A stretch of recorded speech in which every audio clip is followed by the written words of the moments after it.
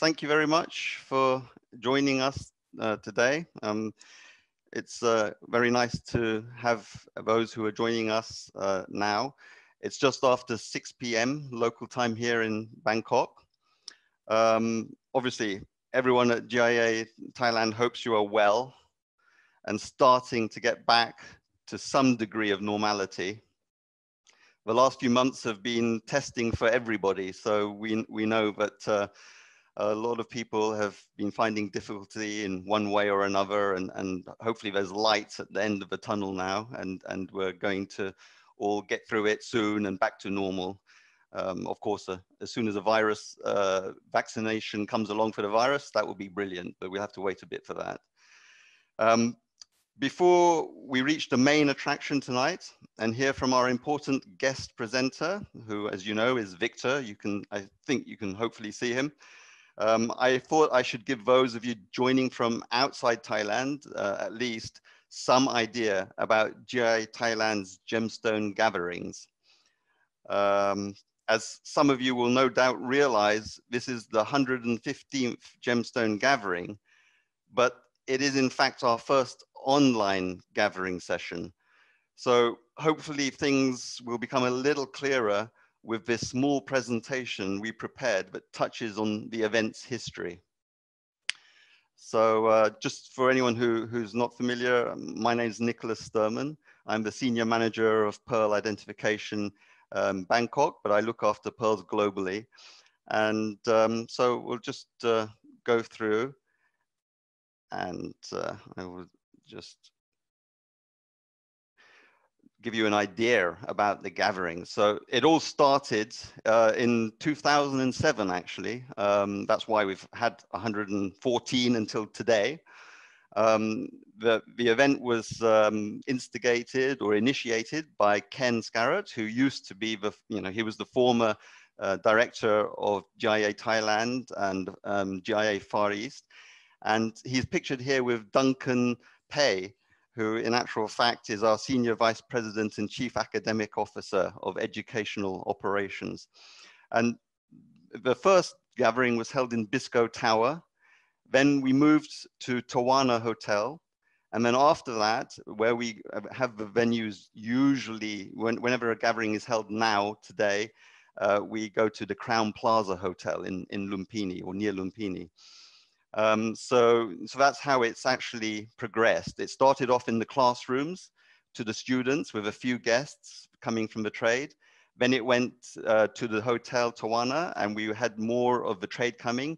And now we have a mixture of students and the trade who come to the Crowne Plaza. And over the years, we've had a diverse range of topics covered. You can imagine 114 up till now. Um, there have been a, a lot of uh, topics covered. And we've had, of course, numerous speakers. And during those events, we've had four anniversary events, you know, ones where we've had like special occasions. So for example, the 25th, we had one, and the 100th, we had another. So. And this just gives you a, an idea. I think maybe some of the small images have been covered by, the, by our pictures. But anyway, uh, you can see a, a, a, variety of shots taken from some of these gatherings. There are a few sort of local speakers who, who have come to, to give presentations.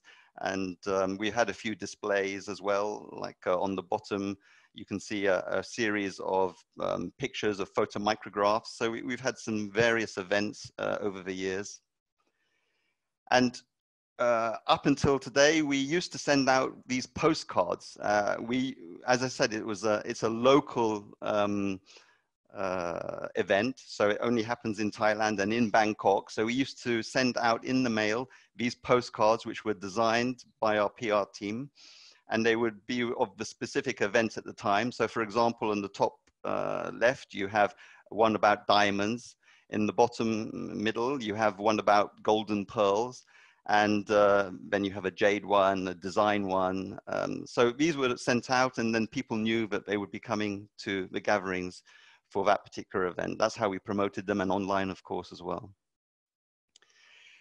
And now to tonight, the main star attraction, of course, is Victor Tuzlukov. And um, he's going to be speaking to us about uh, the how, why, and when of precision cutting Um, Victor, as I'm sure you know, uh, hails from Russia and now lives in Thailand, where he is a familiar figure in the industry and a highly respected gemstone cutter. Uh, among his interests, he lists literature, philosophy, traveling, and of course, gemstones. And during his 20-year cutting career, he has developed his skills to competition grade and been successful at the highest level. He is now passing this knowledge on to his students, some of whom in turn um, have taught others uh, the art of gem cutting. And Victor's philosoph philosophical stone collection was the first to express images and parables by way of facet patterns and was followed by his elements, flowers, and heritage collections, which reinforced this concept. Now he continues to produce new ideas and collections, and we will no doubt hear about them or some of them today. And uh, we're lucky to have Victor because this is actually his third time, the third time we've tried to get him at this particular gathering. Uh, the first time we were going to give it in the hotel and we, everything was planned and uh, it was due to be on the 19th of December. And on the 18th of December, he contacted me and sent me some pictures to prove that he couldn't make it from his hospital bed. And he was having his gallstones removed, which um, obviously was um, bad for him and slightly alarming for us. But we managed to do the 114th gathering. And then we rescheduled uh, the event for March the 25th. And then COVID appeared. So we had to cancel, or at least we postponed that event. And here we are tonight. So now we've gone from sort of the, the, the event happening in the hotel to actually being here with him online. So really that uh, leaves it open to Victor to uh, take the floor and I'll stop sharing my screen and then Victor will be able to share his screen and start his presentation. So over to you, Victor, and thank you. Thank you, Nick. The expression precision cut becomes very popular this time. Let's try to clear what does it mean from different market players and how much one cut is more precise than another. I used to hear different definitions.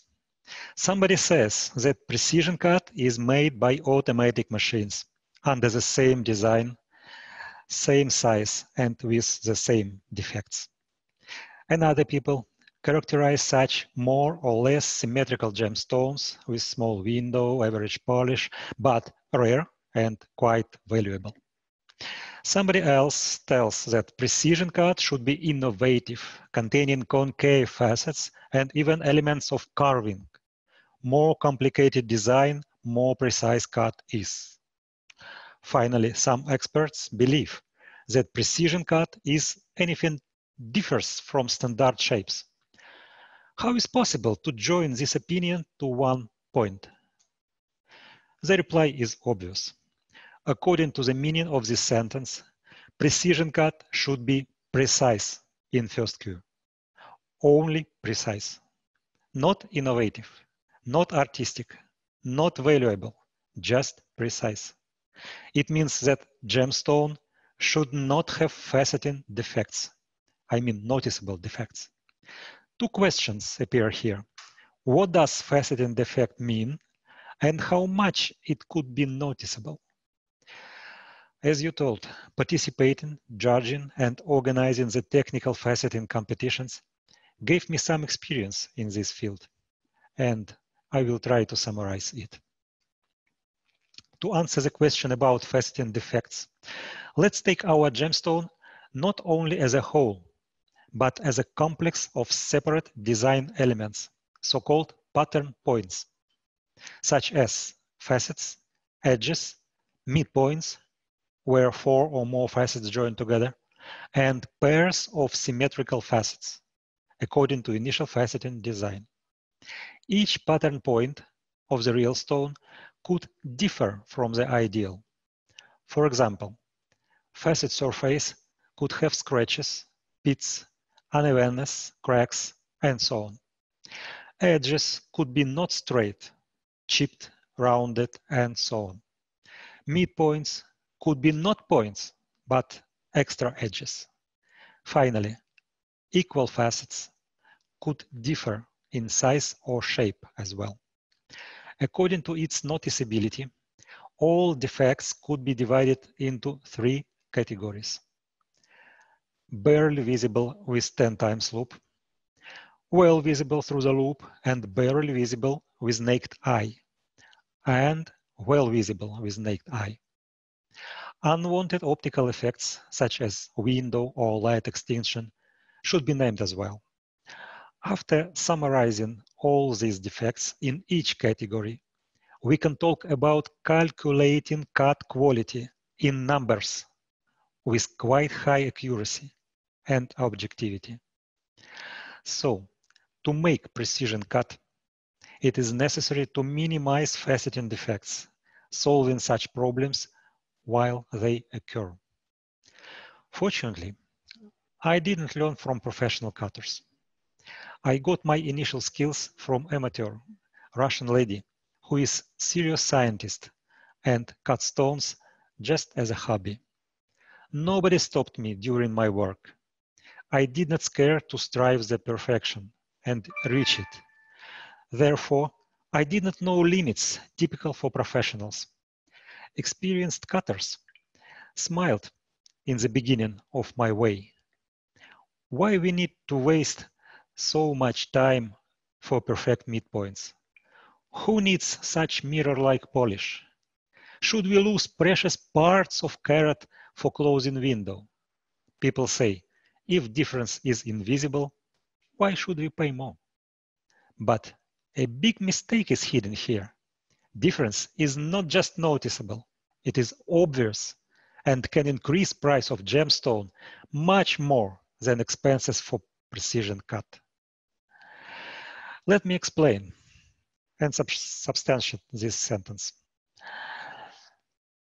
Let's look for 13 years ago to 2007.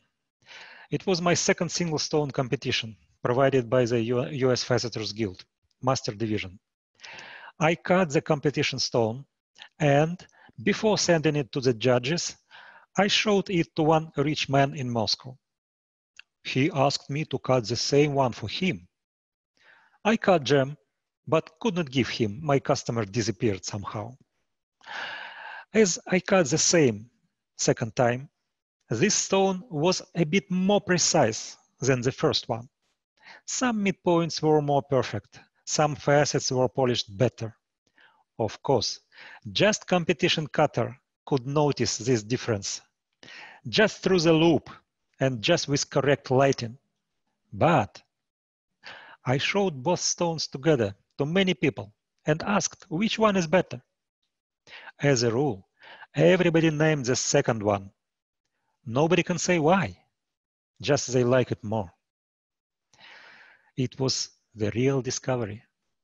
Actually, our eye is so perfect optical instrument that can see much more than our brain can realize. This difference is not seen, but is felt on the level of emotions, like more or less. But in that particular case, the difference was tiniest. Two the same stones cut by the same master, almost one by one. And even such insignificance can influence the buyer decision to buy or not to buy, because this decision is made under emotions very often. But if one stone is cut by real master and another one by commercial cutter. If one stone is cut precisely and another one just commercially, you understand what I mean? All the last years until now, I worked and still continue my work on this difference. When this work will be finished, I will share the results with public. But now Let's stop on one very important gemological characteristic, probably the most important for colored stones, on color. Let's see how precision cut, rather to say mirror-like polish, influences the gem color. I saw it first time just occasionally. In 2016, I started to give classes on precision cut in GIT here in Bangkok. Some samples from cubic zirconia were cut by me during the teaching. Groups were different. Some students gave me more time for cutting. Some of them took more my attention. As a result, once I didn't have enough time to polish my sample. Worked with students a lot. I finished at pre-polish stage. It is similar to final polish for most of gems on the market. Well, it was just a sample, not for sale, of course. I just put it together with another stone, which was cut on previous classes. And I saw. Two absolutely different stones were before my eyes. Rather to say, color was the same, but with different tone and saturation. But it was the same material from one piece of cubic, which has no color zoning. Gem design and angles were the same as well. What influenced the color so much? Answer could be just one, polish. To understand the reason, I looked at the physics, to be exact optics. Let's recall what size of diamond grains is used for polishing by commercial cutters. One or two microns. It allows to polish quite fast with an appropriate quality. Facets shine brightly under daylight or gemological lamp. But surface looks a bit glossy under spotlight when light reflection is removed from the facet. It occurs because diamonds of such size leave scratches wider than length of visible light waves from 0.4 to 0.8 microns. It means light not only reflects or refracts on the facet plane, but diffuse a little bit, and unevenness of surface partially reflects all surroundings. It gives some grayish compound to the color of gemstone and makes it slightly lighter because most of things around are the additional sources of reflected light. As a result, we see not real, but visible color of gemstone, which differs from the real one. It was not my purpose to calculate exactly how much good polish changes gem color. Maybe somebody from GIA will check it carefully and make the real research on this subject. You have perfect instruments for that, including lasers and microscopes, which allow to measure depth and density of polishing lines, compare them with wavelengths of certain sources of light, calculate the reflection intensity and get visible color characteristic and numbers. I didn't have such task. I just can confirm this fact and explain why it happens. In addition, I can say that difference in color due to polish quality strongly depends on the character of light source. Under diffused or daylight, it is not so obvious, but absolutely changes gemstone under many spotlights. It also should be taken into consideration. Now, I want to show how polish can change price of gemstone using not abstract synthetic material, but concrete gem with absolutely real value. Last year, I should repair unheated Madagascar sapphire of almost 16 carats from Santa Enterprises company. I had to remove big chip near girdle and also repolish. It was my initiative. My customer didn't know how color depends on polish you can see difference. Before repolish, stone was certified in GIA as just blue. Now it becomes cornflower blue. That is also confirmed by GIA report. The stone lost for repair just half a carat, or a little more than 3, 3%. And losses for repolish should not be taken into consideration at all. It is not more than one hundredth of carat, I'm sure. Of course, I don't want to say that cut in common and polish in particular improves the own color of gemstone. Let me stress again, perfect polish allows us to see the real gem color, which does not decrease saturation due to diffusing light on facet surface. And absence of window or extinction lets us to focus on the stone color only. So, we talked about two first questions in the name of my lecture, how and why. Now let's try to answer the third question, when? Yes, we have, if we have a flawless piece of rough with amazing color of middle tone and high saturation, no need to discuss, should we cut precisely or commercial cut could be enough. I'm absolutely sure that cut quality should be not less than material quality.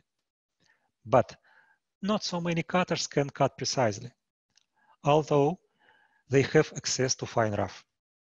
Recutting of gemstone becomes more and more popular with raising market of fine cut. What does recut mean? What kinds of recut could be? When we need to recut stone and when we get the maximum effect from recut? All these questions are not so simple as look like. First time, I talked about gem recutting on my lecture at the Gemological Symposium in Paris five years ago. I already have some results at that time. But I started to use systematic and scientific approach to this subject just recently, to be exact last year. All particular kinds of recut could be divided into three main categories. Total recut with possible changing of shape, the stone, partial recut with the same shape but possible change in design, and simple repolish the existing facets. First of all, let me stress the purpose of recut is increasing price of gemstone. It is clear that complete recut takes significant losses and could be used just if cost of final gem is much more than simply material. For example, in case of artistic cut, when the master creates an art object using cheap rough, like quartz or topaz, for example. Uh, this wonderful lotus was cut from kunzite, already faceted, of 257 carats weight. I lost about 37% while cutting it. But during a few years, it was a jewel of my exposition at many exhibitions in different countries. This year, stone was bought for Arizona Museum collection. I will not tell too much on artistic cut. It is subject for another lecture. But it could be noted, if price of painting includes not only expenses for paints, canvas, and the working time of artist, the same could be told about faceting of art objects. This particular design named Touching to Perfection. A parable was written to it, saying that the real artist can use any tools to reflect the perfection, such as canvas, paper, marble, or crystal for faceting. The most popular category is recut with the same shape of gemstone. There are not so many classical shapes, round, oval, cushion, octagon, pear, but there are different cutting style, styles as well. For instance, in Brazil, cutters use mostly Portuguese cut. In Asia, step pavilion and brilliant crown. As a rule, commercial cutters don't think too much about correct optics, making pavilion too bulge. It increases weight of stone but window appears and doesn't allow to disclose color completely. Usually people close their eyes to this because until now, the material was selling on the market, not gemstone itself. But nowadays, more and more attention is paid to cut quality and perfectly cut stones are more welcome with the same other characteristics. I think it will be more and more on the market. That's why cutters started to improve already faceted stones. Losses in this category strongly depend on shape of initial gem and could deviate from 10 to 30%. the most favorable case when stone has deep and not so bulged pavilion. Could be typical for some sapphires. We need just cut off a little bit around culet. For example, exactly such case happened with this spinel from Burma. I recut it for my friend and lost just about 9% of weight. Difference in price is quite obvious. If stone has medium deep pavilion and window due to some belly, it is also not bad.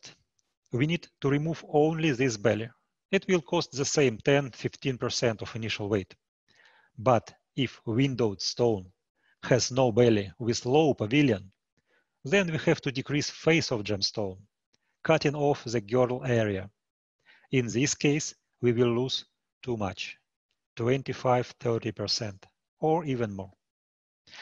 Another factor should be taken into consideration calculating possible losses, so-called magical size. For example, price per carat for ruby of 5 plus carats is much more than the same ruby a little less than 5 carats. Therefore, if weight of, for example, unheated royal blue sapphire is 10.2 carats, we need to think a lot before deciding to recut it.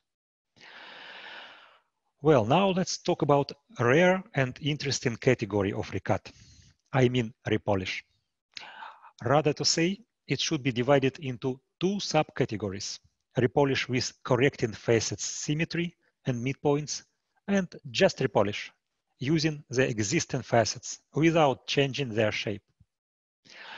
Actually, just repolish is not so simple. If we want to minimize losses, of course. To repolish some facet, first of all, we should find it. I mean, to find coordinates of each facet, angle and index. If stone was cut initially on faceting machine with good symmetry, it could be much easier. In this case, we can predict quite precisely where symmetrical facets could be. But usually, each of many facets should be found individually. As a rule, catching facets needs much more time than repolish itself. It was made for this 92 carats flawless Paraiba tourmaline.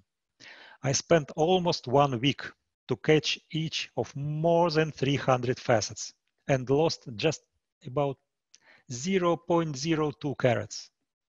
But according to the owner, price increased for about 10% due to brightness, brilliance, and saturation of color. I just told about weight losses. Repolish with correction symmetry takes not much. We usually lose not more than 2 or 3% of initial weight.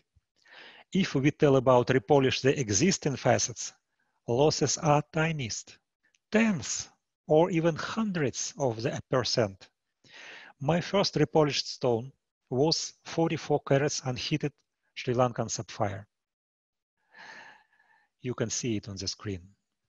During my work, I lost a little more than one hundredth of carat only, about 0.03%. Now you can understand why I'm ready to classify it as separate subcategory. Comparing with repolish with correction, we lose almost 100 times less material it is similar to diamond hardness. 10 times, 10 times more than nearest neighbor sapphire. I want to say again that such repolish is the highest level in gem cutting. No doubts. It should not be entrusted to regular cutter.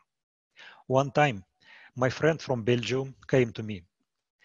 He is gem cutter in second generation, son of gem cutter and cut stones by himself more than 15 years already. He came just to learn polishing.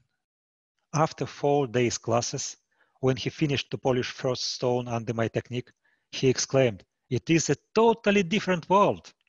I have never seen somebody in Europe who can produce such polish. As he wrote me then, showing the stone to his customer, he immediately got nine new orders. Can you imagine? now we can bring such new quality, uh, how we can bring such new quality standards to the market. One of my customers who bought a few my gemstones reproached me then. What did you do with me? Now I cannot find anything on the market. Just one look through the loupe and I lose any wish to buy this gem. But I am here exactly on this reason. Our token is just small brick in the wall, just small particle of the work I'm planning to do for this purpose. This work covers all players of gemstone market. I work with customers, private buyers and collectors, showing my stones and talking about their specialties. I work with jewelers and jewelry brands, creating new gemstone designs and cutting particular stones. I worked with gem dealers, making initial cutting and recutting as well. I work with cutters, teaching them and sharing my skills and experience. I'm proud to say that many of them got quite high results on faceting competitions, such as my Russian student Pavel Filinov, who won the single stone competition provided by the US Faceters Guild in Grandmaster Division with the perfect score, 100 points from 100. And I was very impressed by achievements of Taiwanese cutters, students of my friend and student Daniel Hu. They got many awards at the International Faceting Challenge in Australia. And one of them, Liao Manling, became a new champion with absolute score, 300 points from 300, breaking my 10 years old record. It was my dream when my students overcome me. And my students in second generation made my dream true. Finally, I work with gemologists and appraisers, talking at the conferences about new news of precision cut.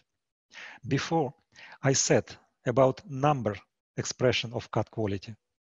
Following the competition judging criteria, I created new cut grading system with main advantages, high accuracy and objectivity.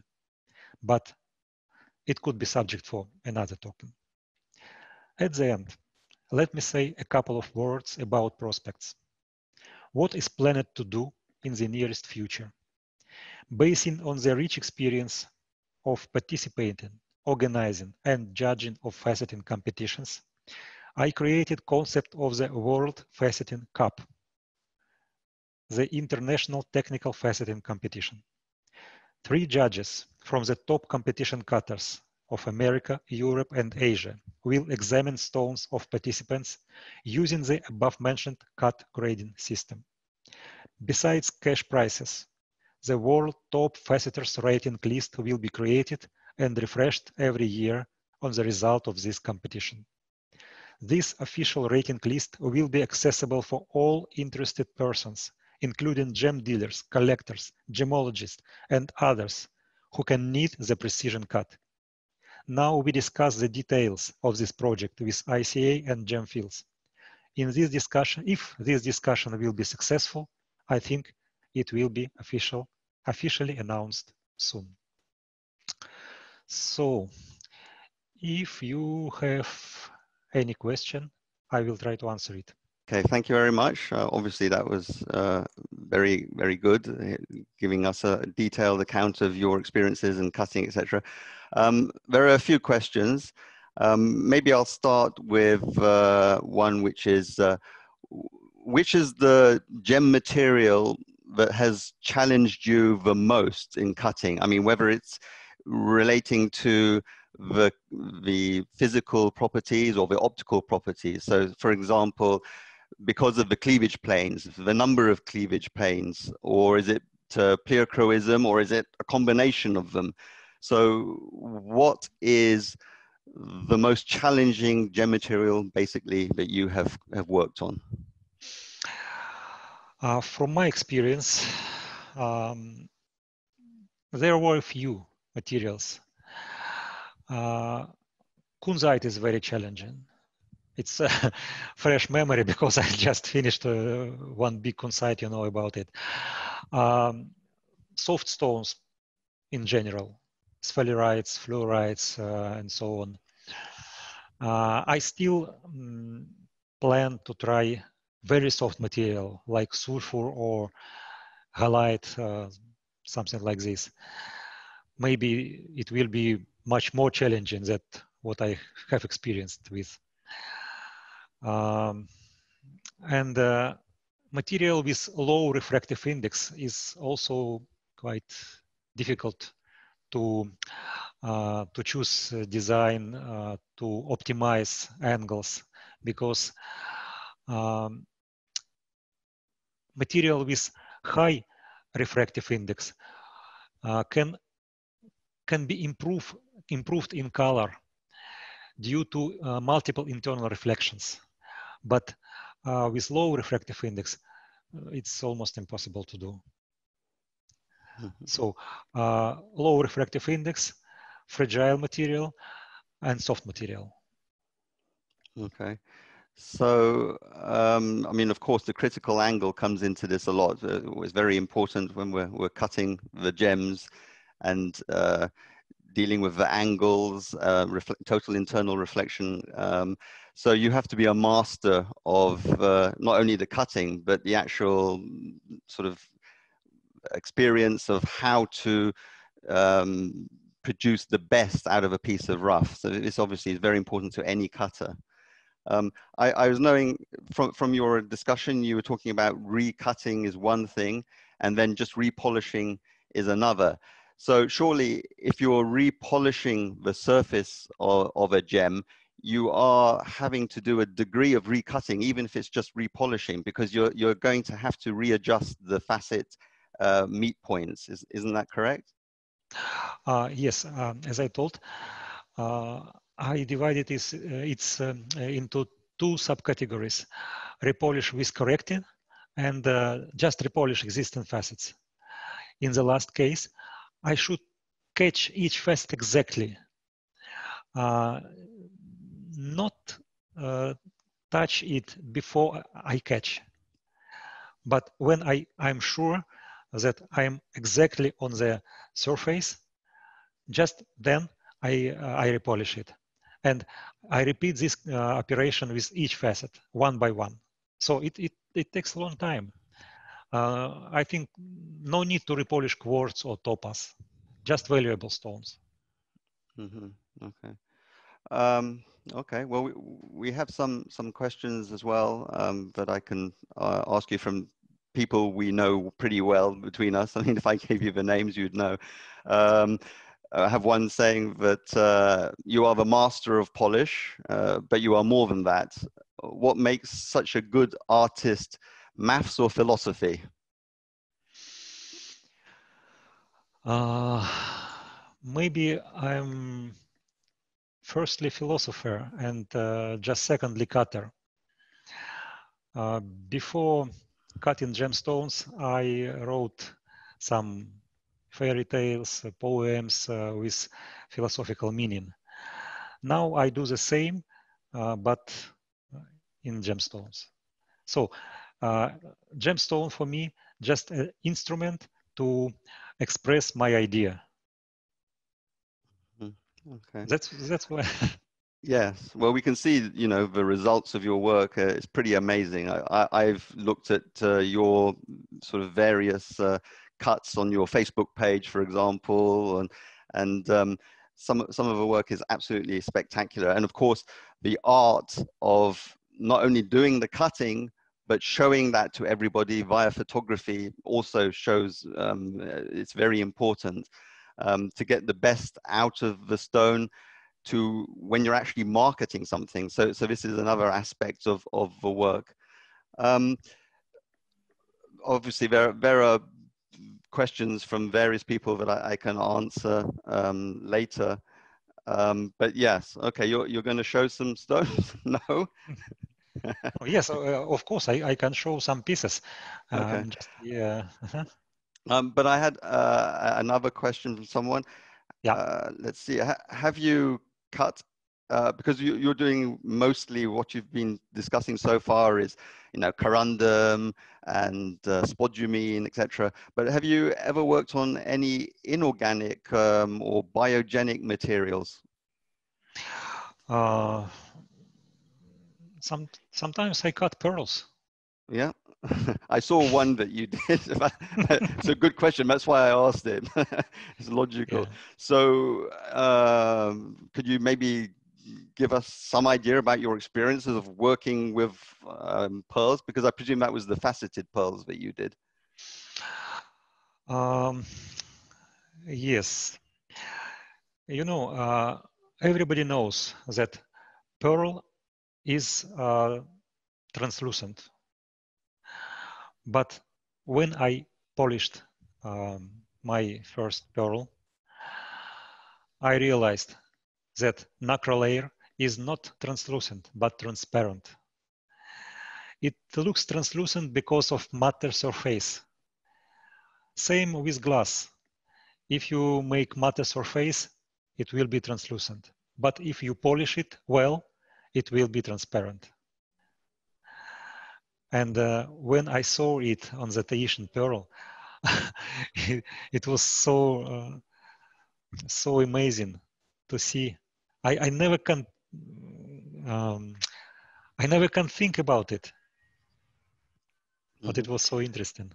Right, because obviously, the majority of pearls, when we're looking at a pearl, it's not really translucent or transparent or even semi, but it, but it's the surface area, the very top part of any part of a pearl.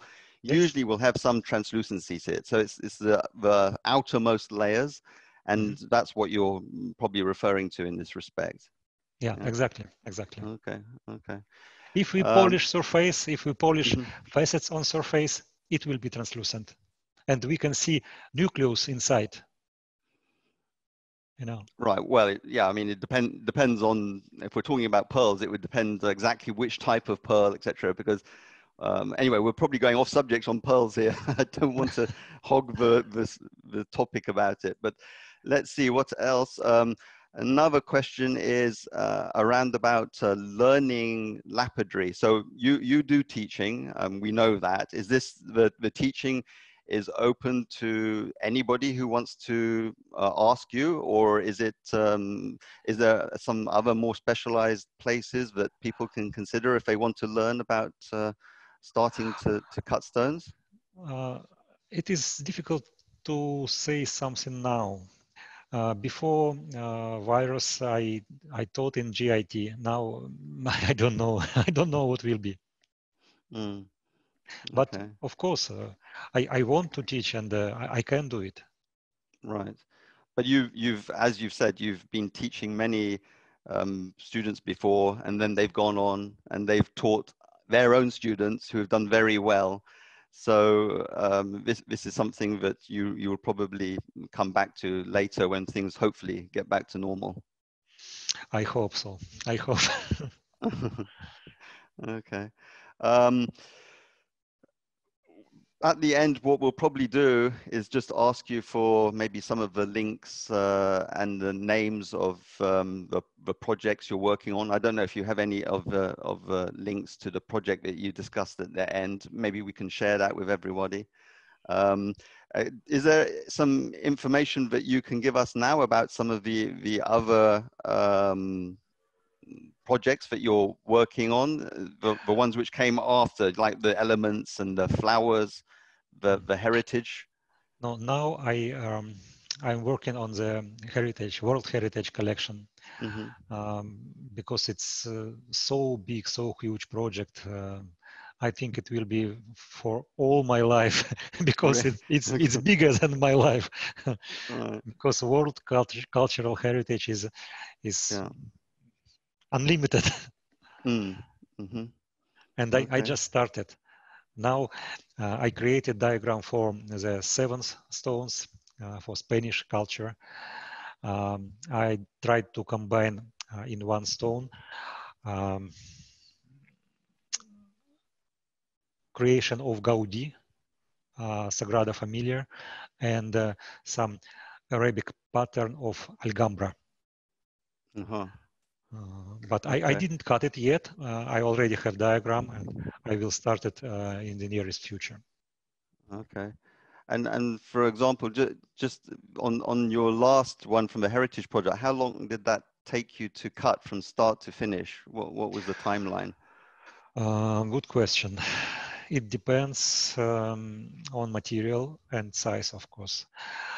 Um, the last stone I cut was uh, the Italian stone from natural quartz. Mm -hmm. I finished it a few days ago. I still have no uh, professional picture. Uh, it will be just maybe in a few days. I will pub I will post it. Um, this stone took me about about a week, oh. maybe a bit more.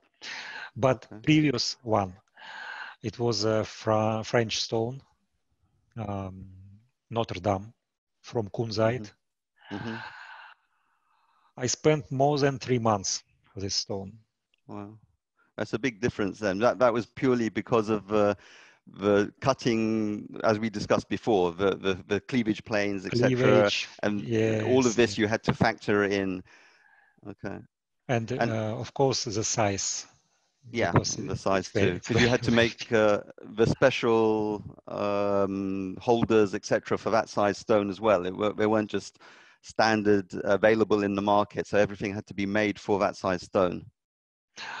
Uh, I think this, uh, this size is not for jewelry, of course. It's uh, for uh, collect collections, for mm -hmm. museums, for uh, private collectors. because when somebody asked me uh, why you cut such big stones, it's impossible to set into jewelry. Um, I can ask, for example, painting. You set it on the wall.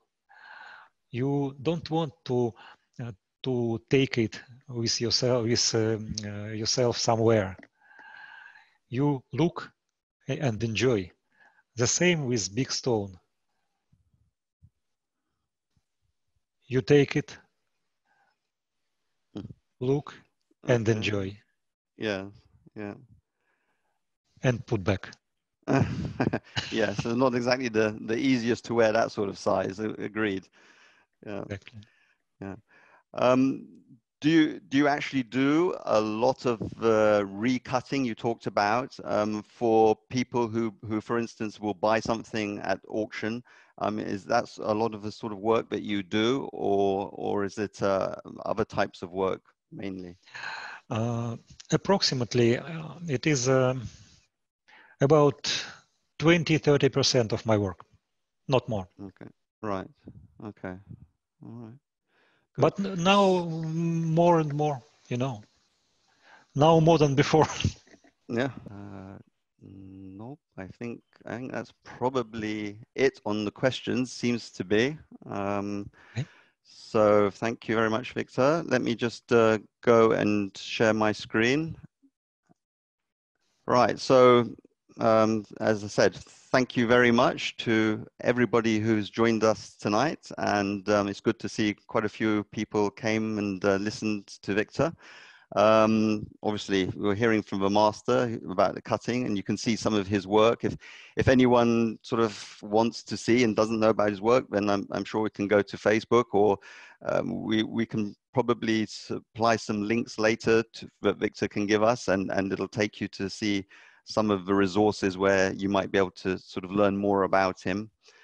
Um, and just in leaving, I'd say that uh, uh, we have one more of the regular knowledge sessions um, from GIA, which is tomorrow evening, um, and it's being given by Dr. Wei Wang, um, and uh, you can see the title is Diamond Color Treatment and its identification. So this will be tomorrow um, uh, evening in Bangkok time at 11 p.m., which is actually 9 a.m. Pacific um, daylight time. So if anyone wants to learn a bit more about the diamonds, then uh, please uh, re register for that and, and join that session. Vic, Victor, thank you very much for coming here tonight and uh, joining us and sharing your knowledge and experience. Um, in actual fact, just before, because we got a little bit of time before we, we get to the hour, I got, seems to be one, one more question has appeared. I don't know if you want to do, I mean, we've got about five, five or so minutes left. The, the question basically is, can you show more stones, Victor? Yes, why not? so may, maybe we just uh, end on, on you showing a few stones and, um, and then we'll leave it at that. So maybe you can show the stone and okay. also please give us a little bit of information on it. Like for example, what the stone is. I mean, is it, um, is it corundum? I know it's not going to be that big probably. You've brought things like um, topaz or whatever. So let us know the name of the stone, maybe the, the carat weight of it. Um, now some more questions are coming. This always happens at the end, Victor. But anyway, start with the stones. Show, okay. show a couple of stones. Uh, stone which was on um, uh, the first page of uh, our webinar. This is a Chinese stone. Uh, from citrine, Brazilian citrine, uh, 187 carats and uh, uh, more than 600 facets.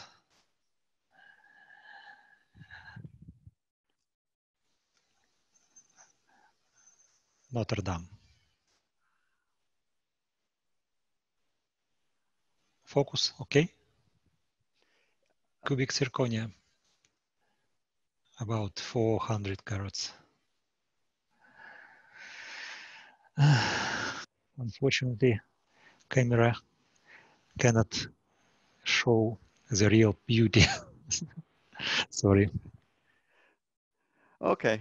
Anyway, yes. I mean, it's a, we're a bit limited with a, um, a, a camera setup like that. It's it's not uh, not the same as actually seeing it in person. So um, yeah, I mean that that's the beauty of the gatherings like we used to have them, where you can turn up in person and handle them if you let them handle them, and see for themselves, etc. So obviously now we're working online, and we have some slight restrictions, but uh, at least uh, uh, we can still be together during these times. Yes, I, I hope uh, next time we will um, meet together personally, and uh, I can I can show it. Yeah. Okay, well, um, I think that's that's it on the questions now. Um, we've just had a few people saying thank you very much, and uh, you know comments like beautiful. Um, so yes, uh, thank you, thank you very much again, Victor, and uh, I think that's thank, that's it for this you. evening. Thank All you right. very much. Thank okay, you. and thank you very much, everyone, for for joining us and. We hope to see you again in future. Bye. Take care.